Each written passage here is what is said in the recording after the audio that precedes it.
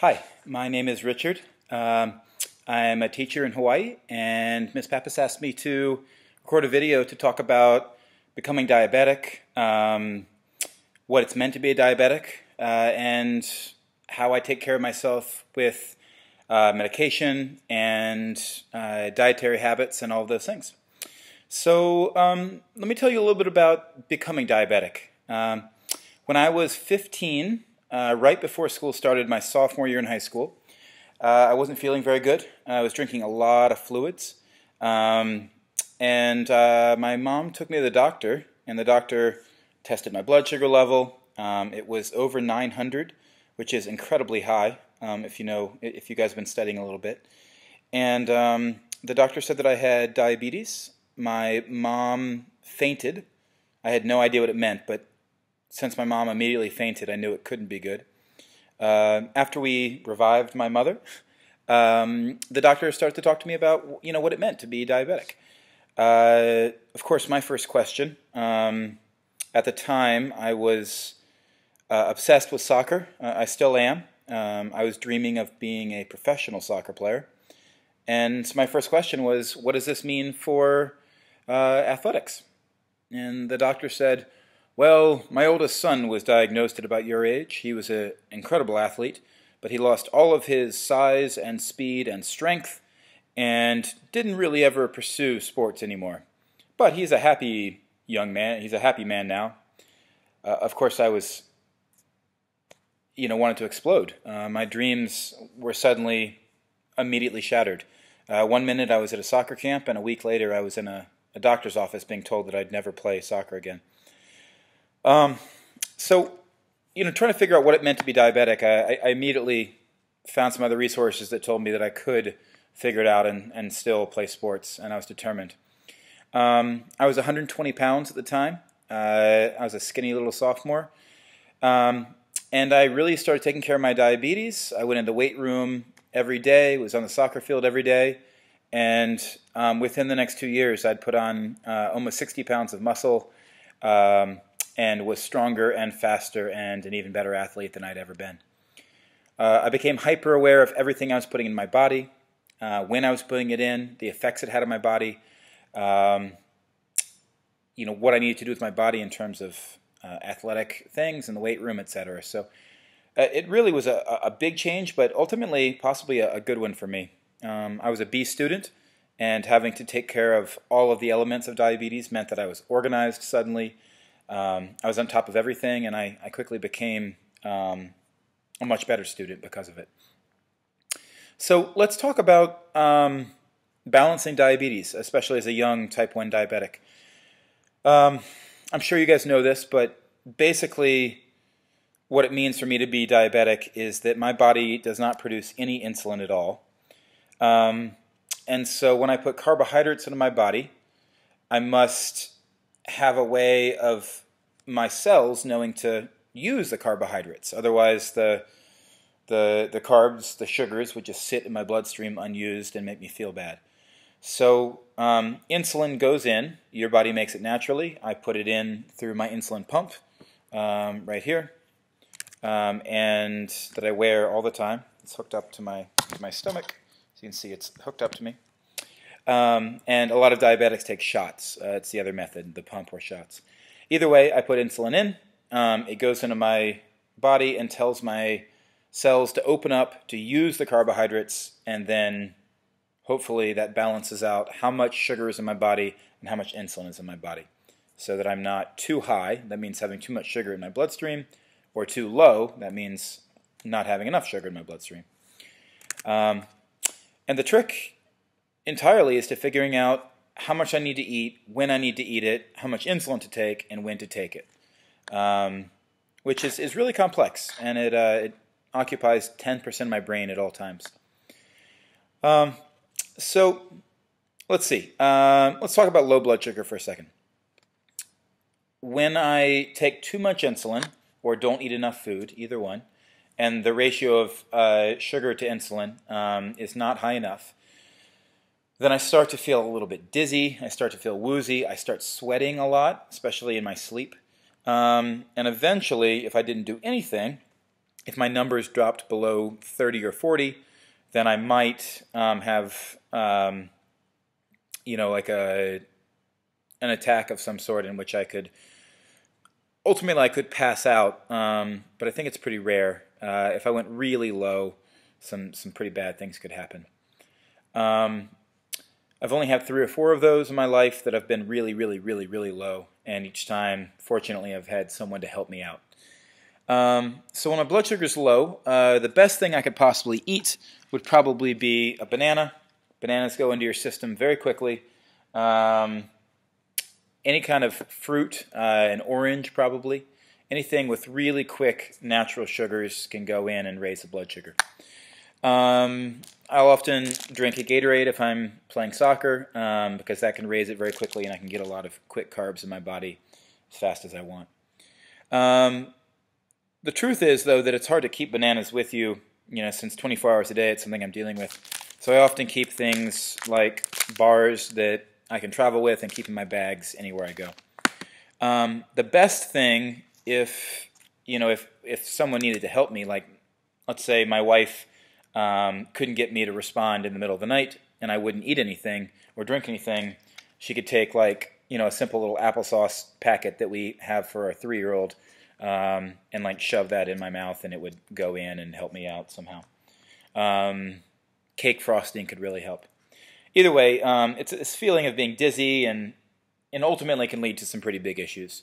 Um, I would say I go low probably once or twice a day, um, but I can manage it pretty quickly and get my blood sugar to raise um, really quickly. So it's it's usually only a 10 to 20 minute problem. I can fix it pretty quickly. High blood sugar, on the other hand, um, is a little more problematic um, and also very common. Uh, my blood sugar goes too high probably three, four, or five times a day. Um, and the way to fix that is to take insulin which will go into my body and tell my cells to open up, accept the sugars and use them, and then my blood sugar level, my, the ratio of uh, blood and sugar to insulin will lower, and I'll be back at optimal range. I usually want to be anywhere from like 80 to 140. Um, so if I'm below 80, that's considered low, and if I'm above 140 or 150, then I consider myself high. But again, if I'm at 160 or 170, that's actually fairly normal and okay. I, I, I only try to deal with a problem if I'm at more like 200 or 250 or even 300. Um, and then I take insulin and sometimes exercise to bring it down. The best ways to balance your blood sugar as a diabetic is through exercise, um, through eating properly, and then, of course, through checking your blood sugar uh, all the time, thinking about you know what your blood sugar level is and whether you need to eat food, whether you need to do nothing, whether you need to take insulin, etc. Um, again, I would say 10% of my brain at all times is thinking, what's my blood sugar level? What do I need to do uh, to make sure that I stay balanced or, or get balanced? Um, there are long-term dangers of having uh, high blood sugars. The smallest um, you know, blood vessels in your body, like in your eyes and in your toes, they start to get like jammed up with sugars and stop to stop working properly. I have to get my eyes tested twice a year just to make sure that um, I'm not developing um, clots in my eyes. And uh, it's a lot harder to test for my feet, but you know, uh, everything is 100% fully functional, so there have been no issues there. Uh, I take extremely good care of my diabetes, um, so I've been fortunate to not have any complications. I'm about to turn 35, so I've had diabetes for 20 years and um, it's definitely caused its share of problems, but through managing it, I haven't had any long-term effects that I know of so far. Um, let's talk a little bit about how wildly insulin, exercise, um, all these things can affect um, my body. So let's say I want to um, eat some food. The typical amount of insulin I need um, is one unit of insulin for 15 carbohydrates. But if I'm exercising, I need a lot less insulin. If I'm doing nothing, watching a movie, I need a lot more insulin. Um, if I'm about to go play soccer for an hour and I eat 60 carbohydrates, instead of using taking four units of insulin, I would probably take one unit of insulin. If I'm about to watch a two-hour movie, um, I would probably, instead of taking four units for that those 60 carbs, I would probably take six or seven units. So it's literally six or seven times the amount of insulin if I'm watching a movie versus going to play soccer. It's a big difference. Same thing for lowering blood sugar. Let's say I check my sugar and it's at 200. Usually I need one unit of insulin to lower it 30 points. Um, so if I'm at a normal place, I'm awake, I'm relaxing, but you know I'm not like doing nothing. I might take three units to lower my blood sugar from 200 to 110. Um, that's not exact, but it would be my guess. During a soccer game, if I were at 200, um, I might take half of a unit and expect it to, to rocket down to 120. If I were watching a movie or doing nothing, um, I might take four or five units. So again, 10 times the amount of insulin to lower my blood sugar if I'm doing nothing versus playing a soccer game. Um, so it's a lot to think about, but it ultimately gets balanced out. Let me show you some of the equipment that I use. I, I know that uh, she wanted me to do that. So let me start with the pump. Um, this is my insulin pump. Um, pretty easy to take insulin, like take units. So if I wanted to give myself four units, I would press activate, let it count up, and I would press activate again. Um, this is hooked through a tube. There's insulin in here. Um, as you can see, there's insulin in here that connects and pushes that down the tube into my stomach. Um, every three days, I move my site, which is where it's connected to my stomach, because it's only a small little plastic tube that's actually connected to me. It's not very much. This is the this is the needle that I put in, and it's got a, a, a small tube connected to it. So I put the needle in, and when I pull the needle out, the thin plastic tube stays in my stomach, and then my insulin pump and the wiring connects to that tube. The tubing is probably only that long, um, maybe a centimeter and a half. So it's really not in very much. Um, I fill that thing you just saw with insulin. This is Humalog insulin. Humalog is the fastest acting kind of insulin that I can take. That means it goes in and acts within 30 minutes, 40 minutes, and then is gone from my system. Um, so I fill this up, uh, and then I put this inside my pump, and I, I, have to fill that about every three days too. So every three days I completely change the tubing, the thing that's attached to my stomach, um, the insulin that's in my pump, uh, all of those things I change and replace. Um, I check my blood sugar about 12 times a day. Um, that's not exact. On days where I'm having problems or playing a lot of soccer or something, I might check 20 times. On days where everything's going smoothly, I might only check five or six times. Um, to do that, um, this is um, the machine that I use for that. I put uh, let's see if I can get to where I can actually see this. Um, I put one of these strips in here, which when I put the strip in, um, it takes about about five seconds for it to measure. So what I have to do is I have to put a drop of blood. I prick my finger. I put a drop of blood onto the strip, and then it will tell me how much sugar is in my system. Three, two, one, and it says that I'm at 132 um, which is 135, which is a, a perfectly good number for me. I'm not going to take any insulin for that, even though it's slightly above the 120 that's ideal. Um, let's say I were at 200, it's late at night, I would probably take three units, stay up for an extra hour to make sure that I wasn't going too low, um, and go from there. What else? Anything else I need to cover? Um, a lot of diabetics take shots three or four times a day. I prefer the pump because I can take 12 to 15 shots in a day rather than three or four big ones. It gives me a lot more control. Um, and if my blood sugar is messed up, uh, then I can press buttons and fix it immediately instead of having to wait hours for my next shot.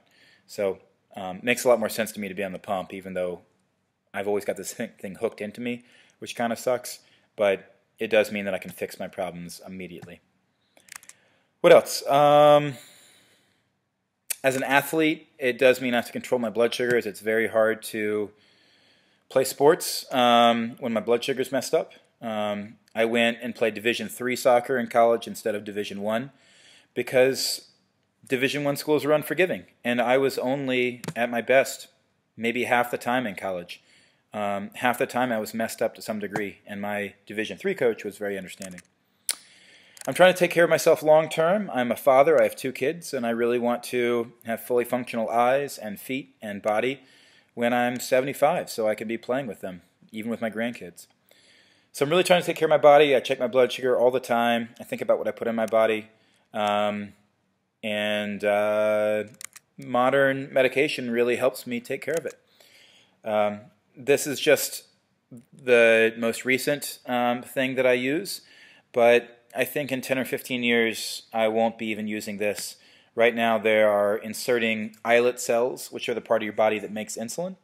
They're inserting islet cells into uh, the liver, the kidney, into different places in your body, and they're having mixed results with getting them to take and not be attacked again.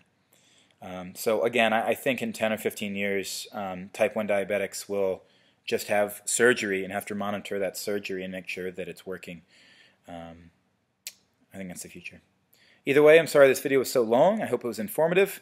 Um, and uh, good luck with your study of diabetes.